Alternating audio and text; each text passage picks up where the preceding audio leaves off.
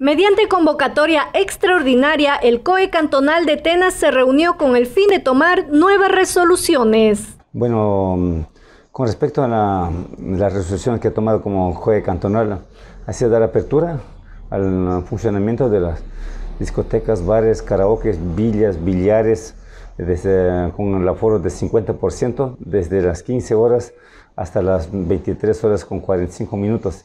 Igual forma, eh, la apertura de las ventas de licorerías y también depósitos, eh, depósitos también está. Inclusive los gimnasios también, entonces eh, está en un aforo del 50%.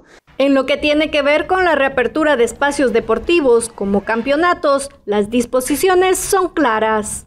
Hemos dado apertura también al funcionamiento de los, de, los mm, de las ligas variales y parroquiales de, acá del Cantón Tena, de un, con un aforo solamente deportistas, cuerpo técnico, eh, y de, con un tiempo de, de 6 de la tarde hasta las 22 horas.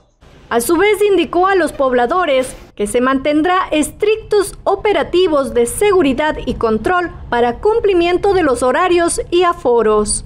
La policía, la gente municipal, las autoridades no podemos estar atrás de cada una de las, de las personas, ¿no? cada uno de los negocios, sino más bien la misma, los mismos dirigentes, los mismos propietarios tienen que asumir su responsabilidad. Caso contrario, vendrá la sanción, ¿no? Eso la, eso, hemos resuelto como Código Cantonal, dando apertura de que en verdad estamos, no hay trabajo, queremos reactivar la economía y en ese sentido estamos plenamente de acuerdo.